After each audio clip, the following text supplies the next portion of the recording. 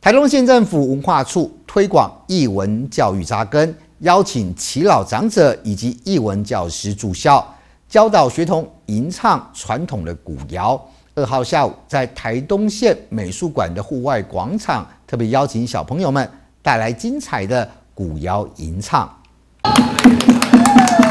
县府秘书长陈明仁在学童的引领下，拿起传统弓箭，射破彩球，揭开活动序幕。为推广艺术教育向下扎根，文化处以安硕国小、海德湾国小及太原国小为据点，邀请耆老长者与艺文教师在校内推动古谣传唱教学。二号下午，特别于台东美术馆大草皮前，以嘉年华形式办理成果发表会，由三所国小学生分别带来台湾族、布农族及阿美族的传统古谣。县府秘书长陈明仁举东商元武社与日本展演为例，表示艺术扎根计划，让学童理解并重视自己的文化。那经过文化处提出的创新计划以后，呃，结合教育的课程哈，课纲再加上课程，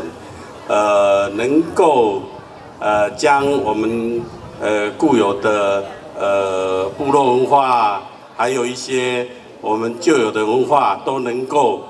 呃想办法来。呃，扎根哈。本次嘉年华文化处也邀请到台东高商元武社及恒春民谣进香团带来乐琴古谣同台演出。恒春民谣进香团也特别将具有代表性的恒春乐琴致赠给台东县政府。一个就是我们的有形文化资产，就是恒春古城的意象，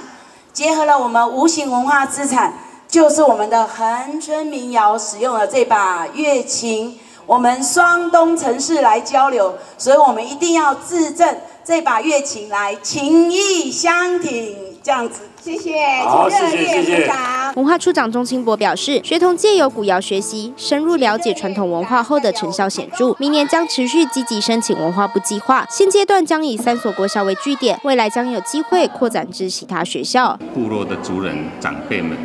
就像我刚刚报告的，看到这些年轻的孙子。哇，可以表现出这样子歌舞的形式，我们觉得真的这样子的方式，从小而且是持持续一整年的，不是一个活动。那这一点点钱，让学校可以用一年的呃师资，然后编一些教材，然后做一些简单的衣服。我们觉得，呃，我们明年还会继续报计划，呃，希望明年文化部还在准我们。学生也表示，透过老师的教导，更加了解古谣背后的意义与文化意义。一开始是有，一开始我觉得很困难，但是经过老师一步一步的指点，我就